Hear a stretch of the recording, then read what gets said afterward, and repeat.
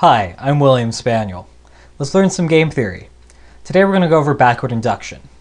And to do that, we're going to use this game that I created precisely for this purpose. I'm calling it the backward induction game. And it doesn't really have any intuition or story behind it. I just want to use it to go over the intuition behind backward induction and how to solve games more complicated than Selten's game uh, using backward induction. Selten's game, of course, being what we were looking at in the last two videos. So in this game, player one stays or goes. If he goes, player two leaves or joins.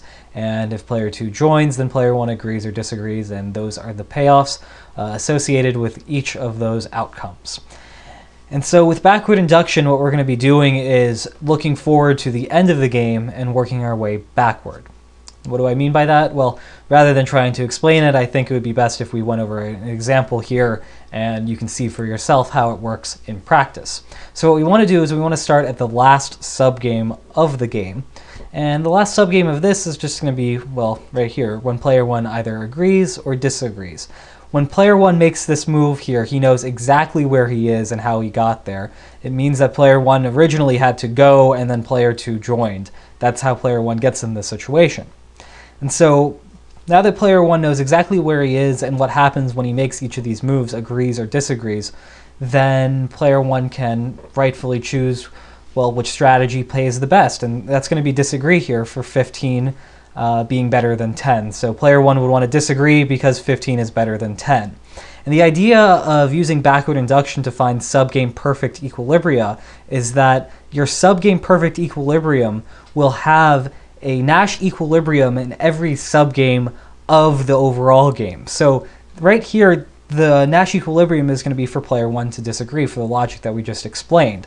So when we go back to this original game, instead of looking at this subgame now, where it was originally agree or disagree, we know what player one is going to do. He's going to disagree. So rather than having some sort of uncertainty between this payoff here, this 15-5, and this 10 negative 10, the Nash equilibrium of this subgame is going to be 15-5. So we can just replace these two payoffs with just this one, and now we can condition player two's behavior based off of that.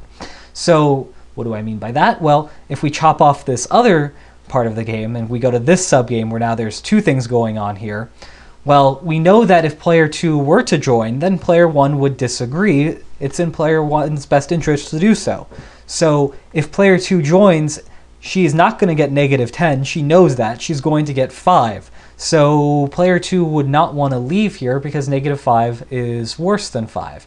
If player 2 joins, then player one disagrees and she ends up with five. Now, player two might want to leave if she thinks that player one would agree here because that would leave player one, excuse me, that would leave player two with negative 10, which is much worse than negative five. But there's just no reason why player one would do that. So we've replaced this payoff with this Nash equilibrium payoff. And knowing that, we can now see that player one would not want to leave. She would want to join, and then that would cause player one to disagree.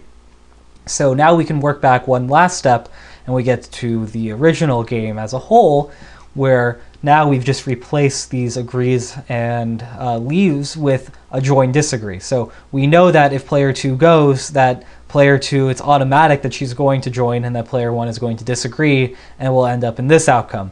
And given that, player one's choice between staying and getting zero and going, having player two join, and then player one after that disagreeing, well, 15 is better than zero. That's what player one would want to do.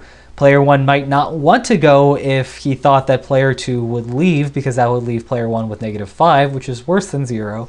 But that's just not going to happen. Player two would want to join because she knows that player one would disagree.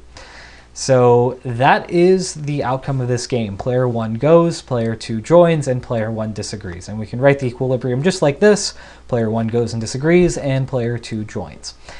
And that's just about it with backward induction. I think backward induction uh, at least the introductory, straightforward parts of it. Um, it is one of the easiest concepts for players or for game theorists or people learning game theory. It's one of the easiest things for them to pick up on. It's very intuitive, very natural. It seems just like a very logical way of solving games. And indeed, as we saw here, I think it pretty pretty much is uh, exactly that. It is very straightforward and intuitive but it can get a little bit dicey when you start adding extra information sets, uh, simultaneous move games like a, a stag hunt at the end of one of these information nodes, something like that.